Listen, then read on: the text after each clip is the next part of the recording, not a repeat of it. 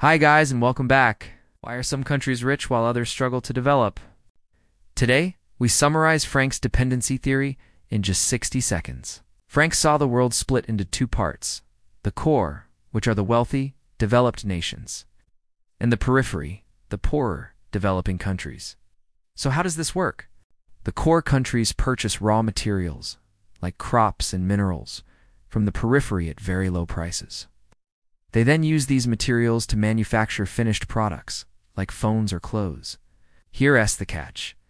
They sell these finished goods back to the periphery countries at much higher prices. This cycle creates a system where wealth flows from the periphery to the core, keeping the poorer nations dependent and underdeveloped. Frank argued that this global inequality isn't just an accident. It's a direct result of the core exploiting the periphery through unfair trade. And that's dependency theory in a nutshell, a powerful lens for understanding global economic dynamics. Want to dive deeper?